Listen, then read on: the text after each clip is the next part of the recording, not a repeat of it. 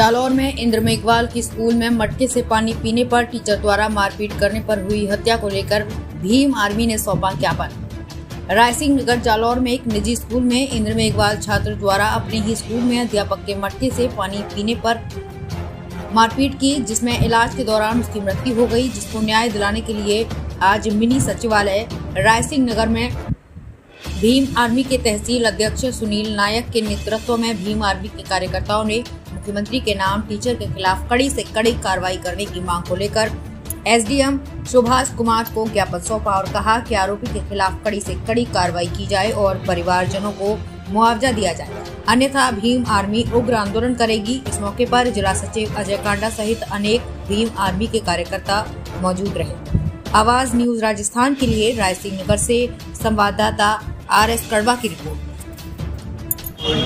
हाँ जी, जैसे आपको मालूम है जालौर में कांड हुआ, एक शिक्षक द्वारा पानी को लेकर बच्चे को पीटा गया था, उसकी मौत हो गई थी, उसको विरोध में पूर्णतः भीम आर्मी पूरे है आक्रोश में पूरे राजस्थान में आंदोलन करेगी। कल भाई चंद्रशेखर आज़ाद का जालौर आने का प्रोग्राम है, उसमें सरकार अगर हमारी मांगे नहीं मानती है तो पूरे राजस्थान में पूरे ज़ोर से आंदोलन करेगी भीम आर्मी। जय भीम।